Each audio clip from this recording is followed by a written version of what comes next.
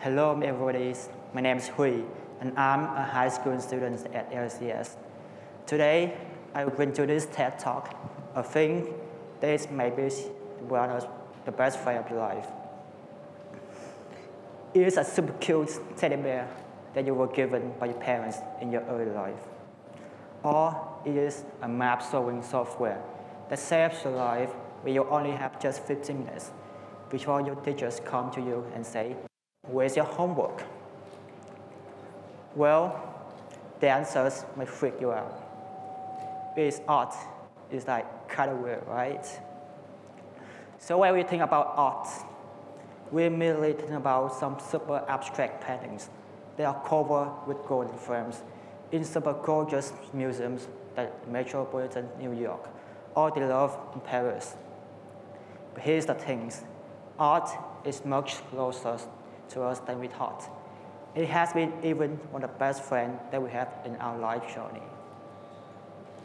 So before the talk, let's talk about the definition of art. Art is the way that we share our thoughts, emotion, intuition, and desire. That means it can be expressed in many ways, like smell, see, hear, or even taste. This feature of art allows us to express the ideas that cannot be expressed through words alone. Ai Weiwei, who is an artist, has said, life is art. Art is life. I never separated it. Art can be a tree that we see on the way we go to school, a poem that our teachers speak to us, a milkshake that we drink at lunch, or even a song that we hear when we come back, to, come back home.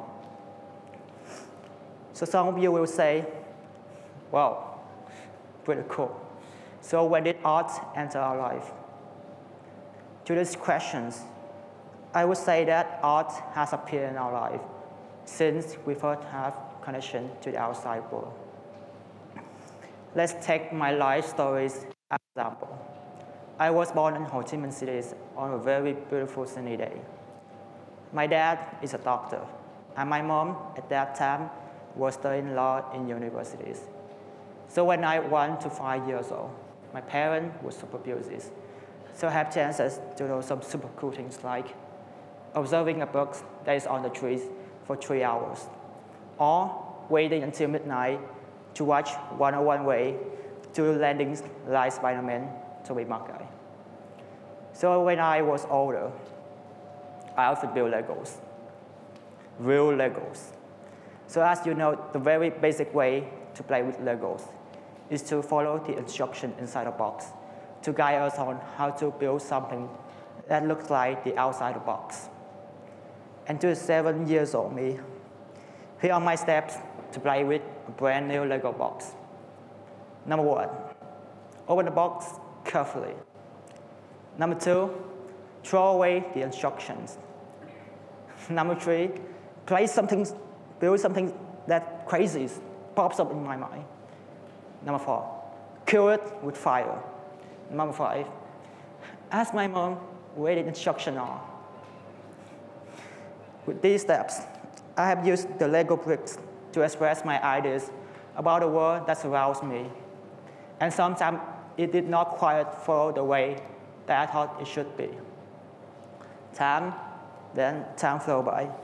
I went to middle school, and I would support coming to classes and hearing lessons from teachers, especially Miss Lin. So I had an idea. I stuck the pen and the ruler right away. And I imagined this were a plane flying over the sky. And the result was that my mind just came up my body. And I was becoming a pilot somewhere in my mind. Then, tôi mời em Nguyễn Trần Gia Huy lên bãi kiểm tra bài cũ. Which means I invite you to come up aboard and get examined. Miss Lin has brought me back to reality by her echo voice. So it's super strange to say these stories. But you notice, art has entered our early life in a silent, natural way. Art can be your favorite superheroes, your Lego buildings, or even just a ruler and a pen. It can be defined as an art if you can express your ideas through it. And somehow, Miss Lin Echo voice is an art to me. I still remember her voice, actually. So we have got what Dr. Gai Lindsay, who is a lecturer at Early Childhood Education, has said. For children, art is a way to communicate ideas. Indeed, art have our early versions perceiving the outside world. It introduces our souls to the beautiful world that humans and the natural world prepare for thousands of years for us to come and see. Also, art establishes emotions for our early life so that we can smile when we see a beautiful paintings. Be excited when smelling a delicious food, or cry when we, hear, when we hear a sad song. So we have gone through our journey with art in our early life. So how about our present life so far? Well, we have known that art allows us to express our ideas without saying a single word. Sounds super scary, like you can communicate with others by telepathy. But just let me ask you a couple of questions. When you listen to a depressed song, have you ever felt that you are a person in that song? Or when you watch a cool movie on Netflix, have you ever, ever imagined that you are a main character in that movie? When we enjoy our favorite songs or movie, we unconsciously let our souls connect to the author and let, our, and let the author connect to our souls, the ideas that our souls want to see or to hear. Aristotle once says, the aim of art is not to represent the outward appearance of things, but the inward significance. Art connects us to others by finding the same way that we look at the world. It can be the same ideologies that met with each other. There is surprisingly a way for us to grow empathy for others and a huge step to make our world a better place to live. Much closer, art can be a tool that we can use to express our ideas and intentions more effectively. For example, we can use art to create a music videos for our friend's birthday, or a poem to confess our love for our relatives. In fact, we have been using art to do this in our time, right? So after all, the benefit that art gives to our souls, what is the thing that we learn about it? Does it make you become a superhero who can rewrite reality?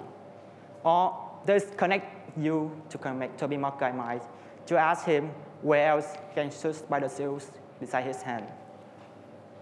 Well, the answer is much more simple. It's even in a single word, humanity. Art is not only about creating beautiful paintings. It's also the way that we look at the world. Without it, we can connect to others just the way we want. And more importantly, our souls and emotions can function clearly. So the next time when you go outside your home, let's take a look at the sky or beautiful landscape right in front of you and let your soul connect to the world fully. That is the moment art, your very best friend, is talking to you about this beautiful world. Thank you.